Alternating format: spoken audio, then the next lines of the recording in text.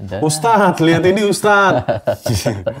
Siswa di Semarang kirim video seks dengan pacar ke ortu pacar minta direstui.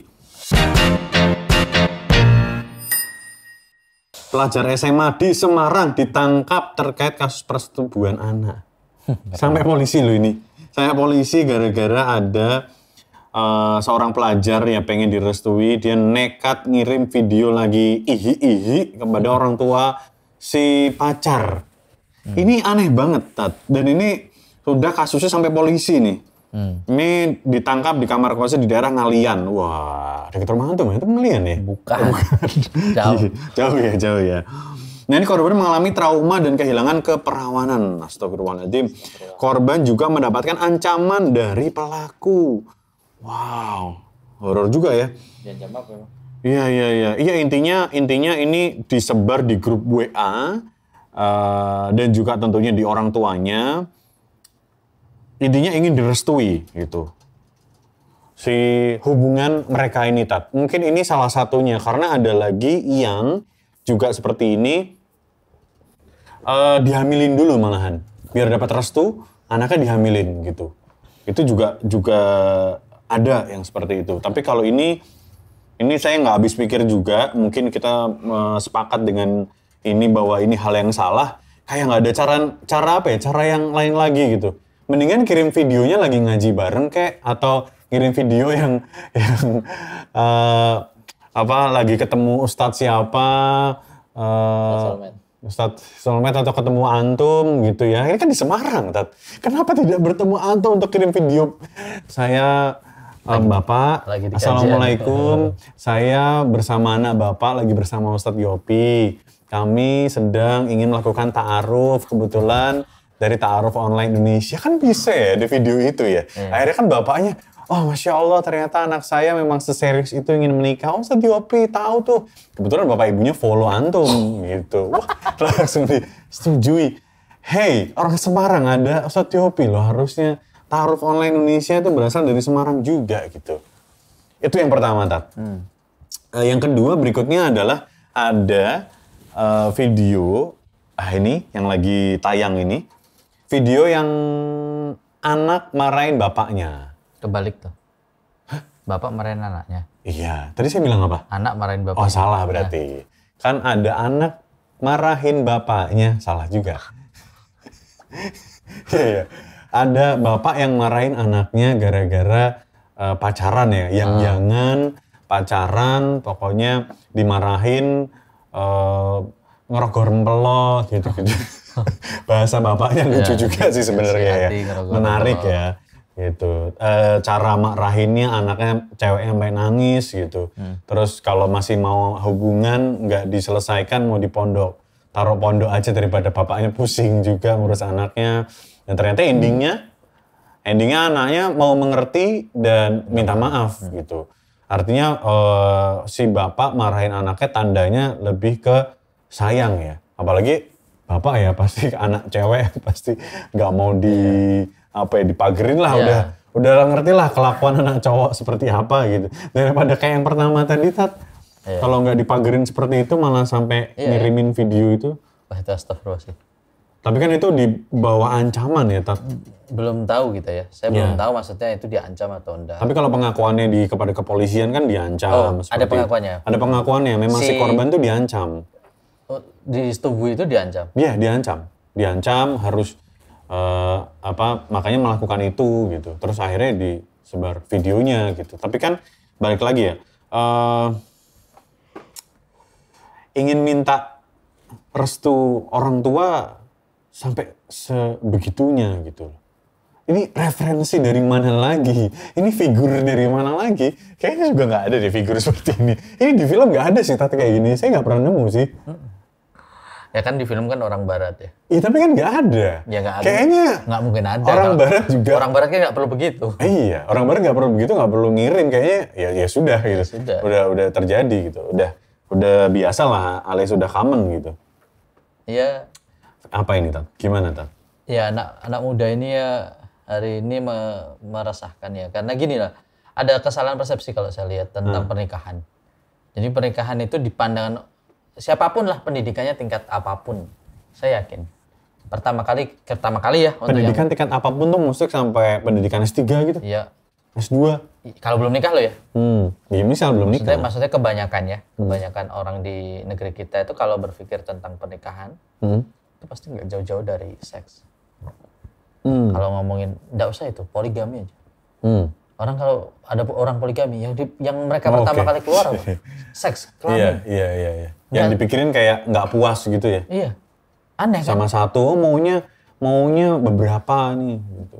Itu aneh masyarakat. Hmm. Jadi gini ya, eh, teko itu hanya akan mengeluarkan isi di dalamnya. Aha. Jadi kalau orang yang berpikir tentang seksual, Hmm. ketik pernikahan itu ada seks-seks, ya itu yang mereka akan lakukan. Karena mereka memikirkan hal itu. Iya. Apa yang Karena mereka menganggap pernikahan cuma itu aktivitasnya. hmm, hmm. Enggak.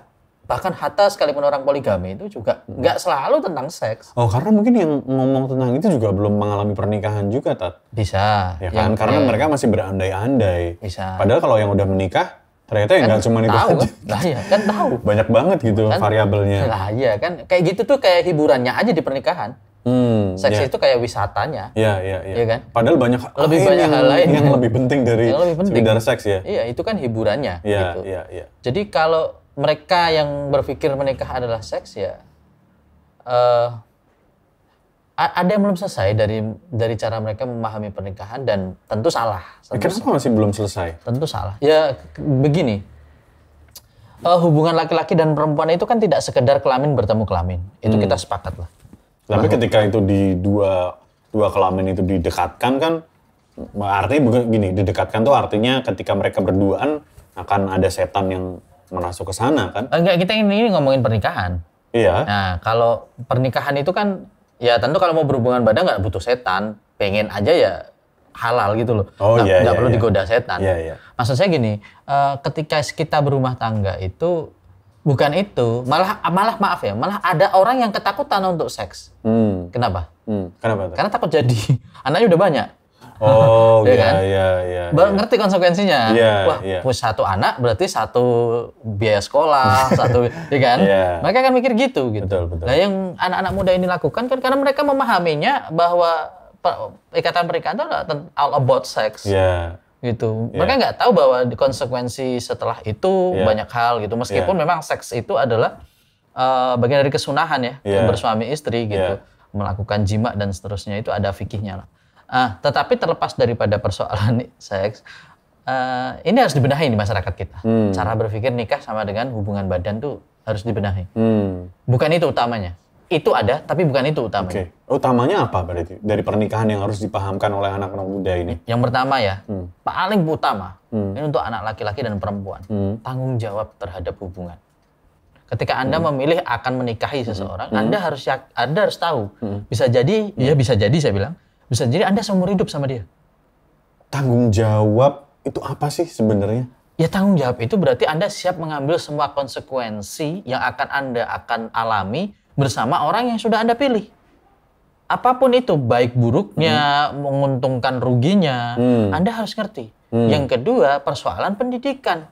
Anda itu, apalagi laki-laki, itu adalah koam, pemimpin.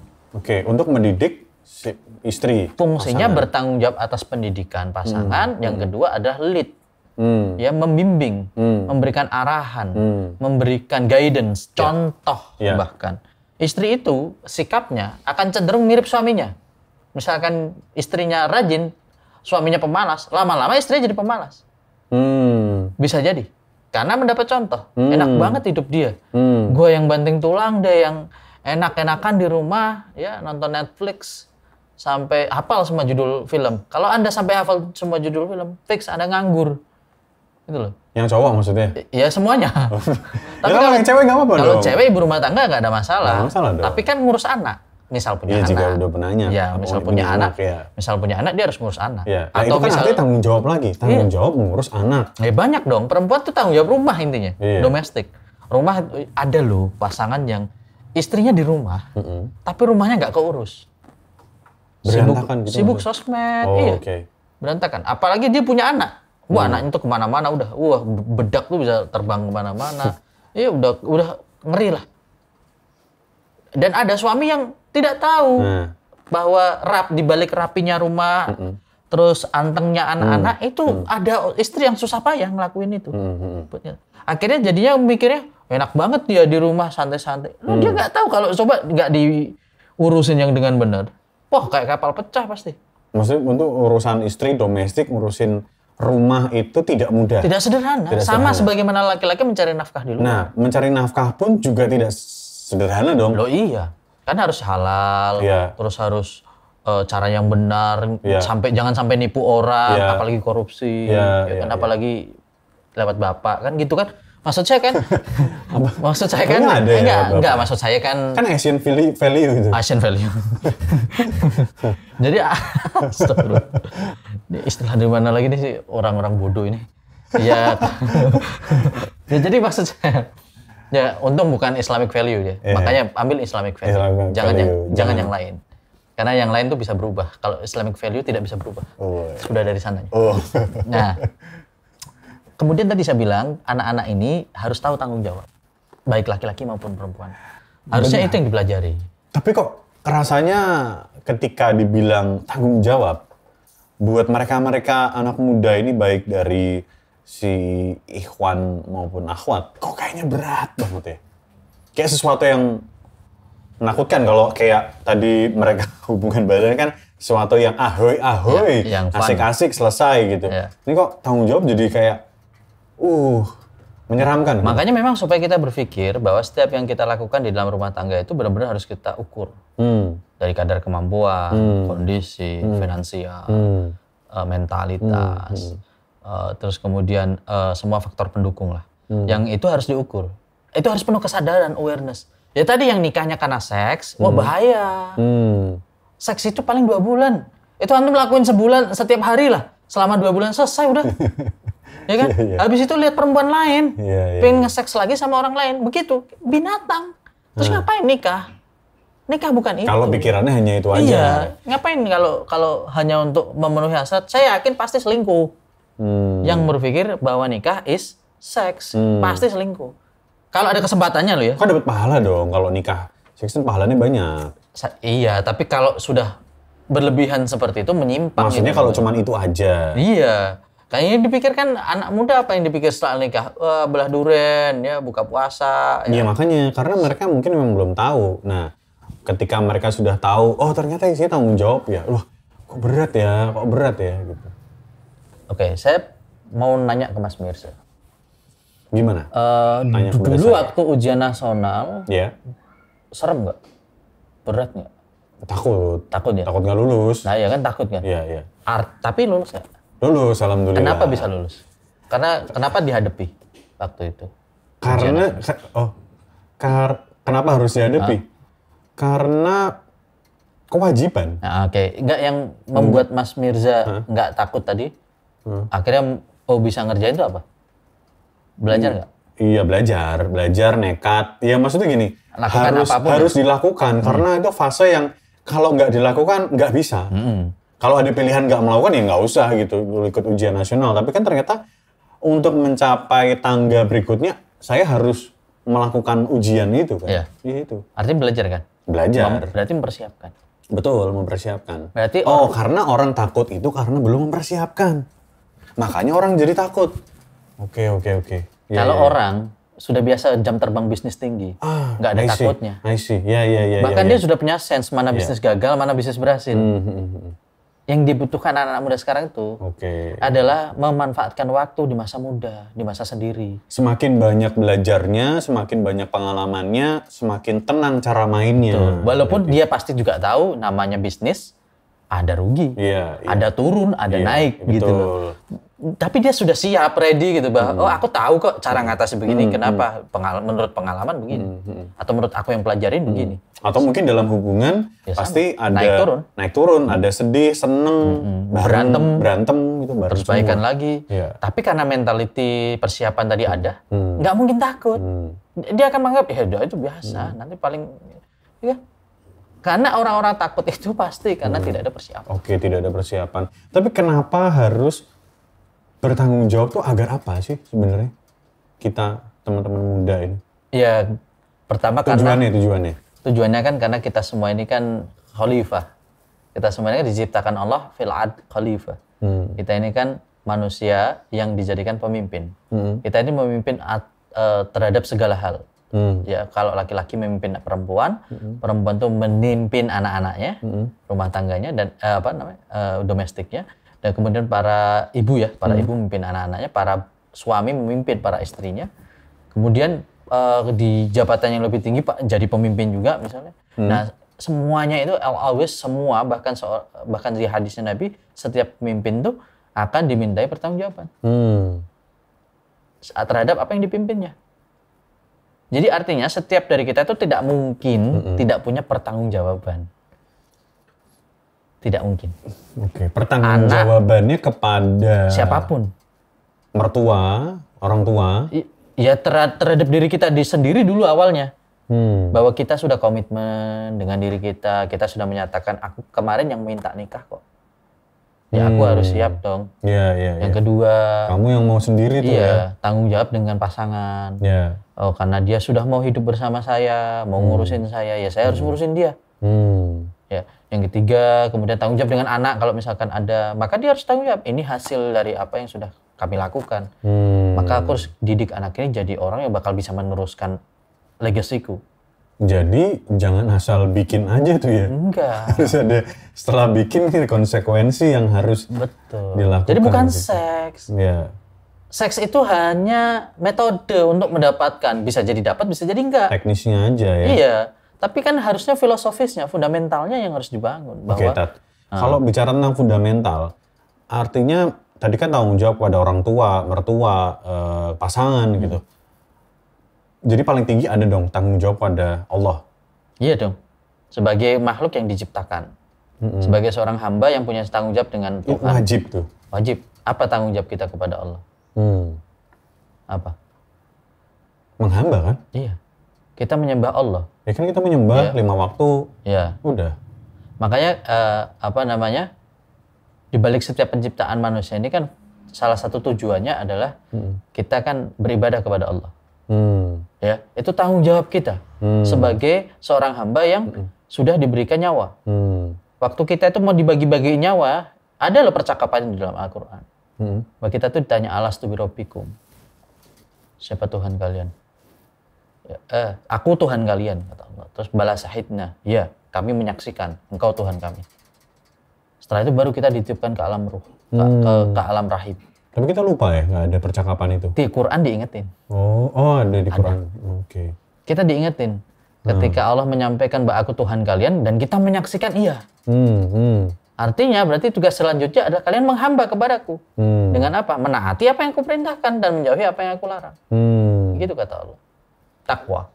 Oke. Nah makanya ada nikah, bukan pacaran.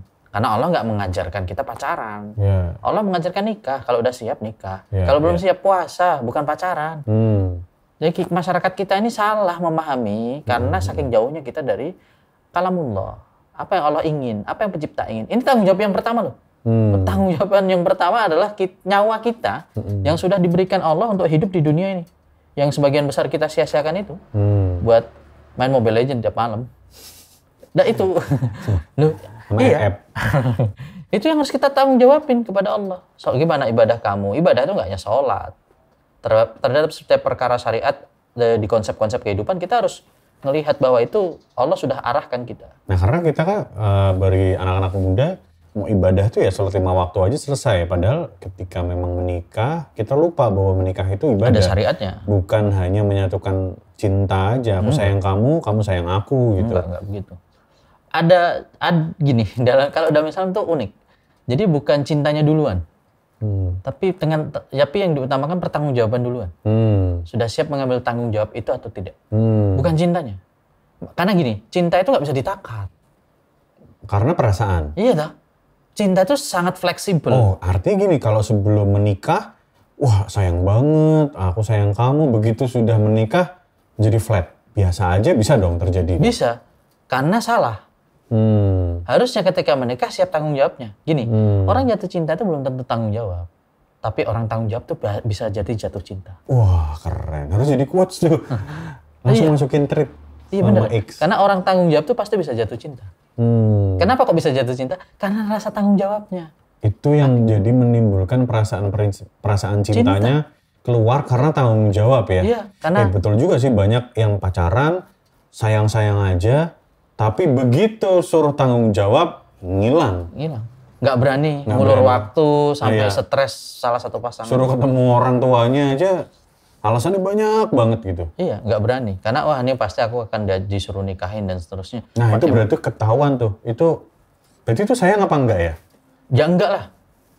Sebenarnya enggak ya itu Enggak ya. lah. Kayak apa ya itu ya? Enggak lah. Oh, Cinta itu cuma ada di pernikahan. Oke. Oh Cinta nafsu. itu Iya, nafsu. Nafsu. Orang pacaran itu nafsu. Apa pun mereka mau bilang karena saya sayang dia, enggak itu nafsu. Karena cinta itu cuma ada di pernikahan. Enggak percaya? Coba nikah. Nanti kamu akan tahu bagaimana cara memperjuangkan cinta di pernikahan. Padahal kalian sudah tinggal serumah. Keren. Iya iya. iya. Padahal kalian sudah tinggal serumah. Itu, Itu kamu dibuktikan ketika menikah tuh ya cintanya. nanti kamu akan tahu. Oke. Bagaimana misalnya seorang suami yang awal sudah komitmen dengan istri tidak menikah lagi. Ya. Bagaimana dia harus membuat setiap harinya tidak bosan dengan pasangannya, meramu rasa. Itu cinta. Iya. Begitu pula juga si istri. Iya. Yang harus setia ketika suami sedang berada di luar, menjaga kehormatan dan hartanya. Ya. Itu cinta. Apa yang disebut dengan cinta? Cinta itu bukan yang tiap hari bisa ngabarin atau jalan ke mall nonton Iya, bareng, benar-benar. bukan makan, Cinta bukan nanyain yang video call sampai tiga jam ya. bukan. Cinta itu soal pengorbanan, waktu, tenaga, ambisi bahkan. Ada seorang istri yang dia seharusnya sekolahnya bisa sampai Iya S2, sih, S3, benar-benar. akhirnya dia harus diberi pilihan untuk menikah, dia pilih menikah. Dan dia untuk pilih mengabdi me- kehidupan eh, orang tua. Jadi ibu rumah tangga, padahal dia udah S2.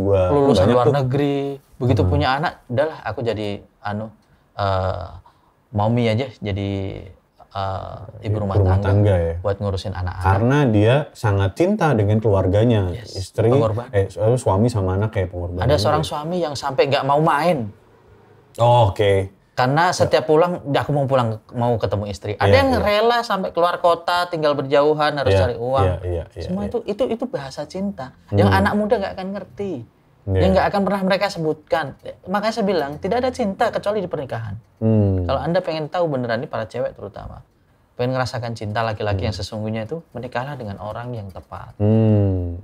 Yang tahu prinsip-prinsip tanggung jawab. Makanya paling awal nikah itu tanggung jawab udah. Antum memutuskan aku sama si A.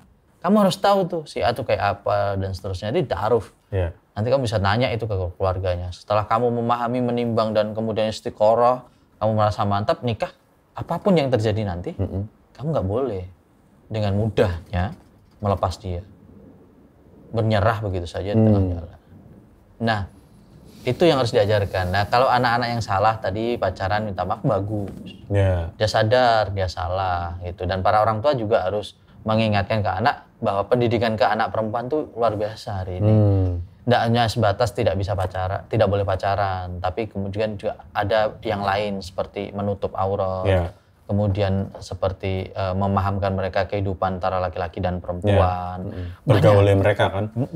Nah, ya tidak bisa orang tua tidak bisa disalahkan persoalan ini karena belum mungkin dulu nikah belum sempat belajar sudah nikah. Tapi para anak-anak kalian kan di- disekolahkan sama bapak dengan lebih baik ya. Hmm. Hari ini pendidikan tuh mungkin kita mau nonton channel YouTube Ta'aruf bisa dapat banyak ilmu, bisa diterapkan. Ya. Lebih murah, mudah. Ya, ya. Nah, seka- berarti nanti ketika Anda itu punya keturunan dari sisi Anda, harus lebih baik secara kualitas menjadi orang tua, bukan melestarikan hal yang sudah terlanjur. Ya. Nah, para orang tua juga juga harus memahami itu bahwa eh, rumah tangga ini bangunan yang tidak bisa diserahkan kepada anak saja. Hmm. Tidak bisa. Semuanya harus menjaga. Orang tua juga harus ikut. Harus ikut. Walaupun si anak sudah menikah pun, Ya, orang tua tetap hadir. hadir, memberikan nasihat. Hmm. Mereka biar bagaimanapun mereka punya pengalaman. Entah itu terlepas gagal atau berhasil dalam bahasa kita, Ya.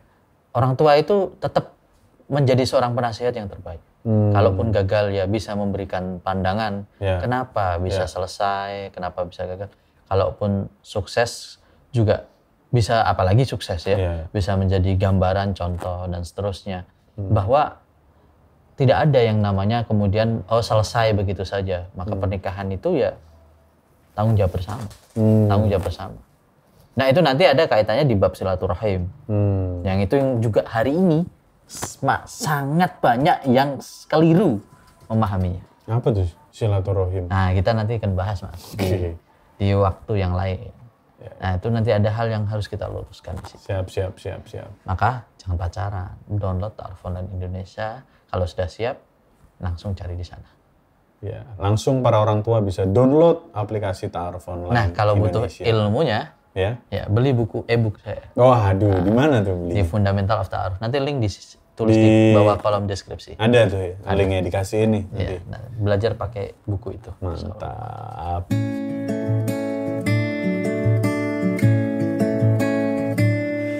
Teruntuk dirimu yang menjadi teman hidup